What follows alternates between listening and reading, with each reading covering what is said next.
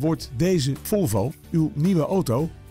Deze auto is van het bouwjaar 2018. Het gaat hier om een nieuwe auto. Hij is nu direct leverbaar. De krachtige benzinemotor van deze auto is gekoppeld aan een automatische transmissie. In het interieur zijn het onder meer een high-performance audiosysteem, climate control en elektrisch verstelbare stoelen met geheugen die het rijden aangenaam maken.